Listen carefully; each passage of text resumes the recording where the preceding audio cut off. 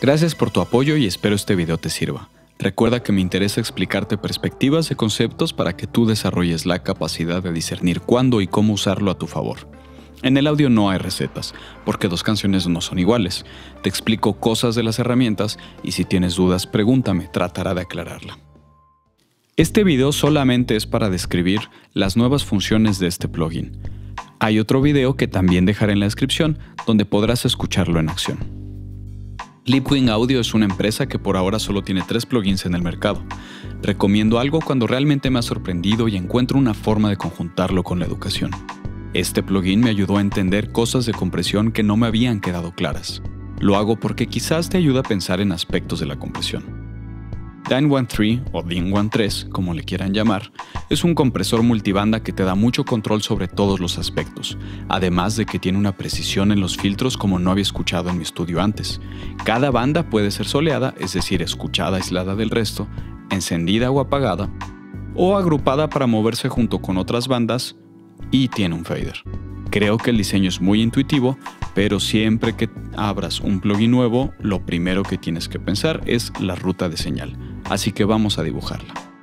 La señal entra por aquí, este es el in, siempre tienes una entrada. Pasa por una serie de filtros para dividirse y dependiendo de cómo estén operando las bandas, es decir, grupo de frecuencias, puede que se comprima o no dependiendo de dónde pongamos nuestro umbral, conocido también como threshold, en los valores escritos aquí abajo. Los valores de compresión también pueden ser menores a 1. Aquí puedes asignar tiempos adaptables, más adelante hablaré de este concepto. Toda la señal pasa por esta sección. Si tienes apagado el modo paralelo, la señal que escuchas es procesada o comprimida, pero si prendes el modo paralelo, los faders controlan esta señal procesada. A la derecha tenemos el gain out. El crossover en las versiones anteriores no era ajustable y ahora lo es. Eso fue algo que me gustó mucho de las versiones anteriores. No podía mover el crossover. Esto me obligaba a resolverlo con mucho control sobre otras cosas, pero sin posibilidad de mover las bandas. Que no se nos olvide que los límites nos obligan a ser creativos. No he jugado mucho con el crossover en mezcla porque esas frecuencias de corte que escogieron son muy interesantes. Es otro caso en mastering. Al trabajar con distintos géneros regularmente me obliga a reaccionar rápido a los cambios que se presentan en la música. Recuerden que existe la distorsión de fase. Hablé sobre este problema de los filtros en el video de ecualizadores en Ableton Live. Te lo dejo abajo en la descripción.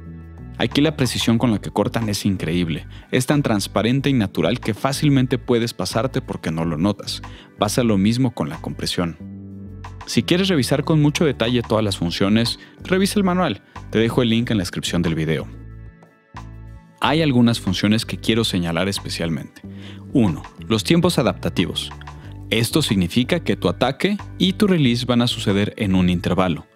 Es decir, no van a partir solamente en 20, 30, 40, 50, 60 milisegundos, sino que puede empezar tu ataque en 20 milisegundos como puede empezar en 100 milisegundos.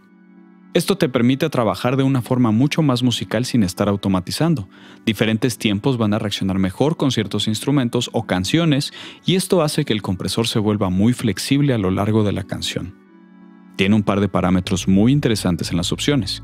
Puedes escoger que lo que se mida sea una relación de dos puntos entre tres variables.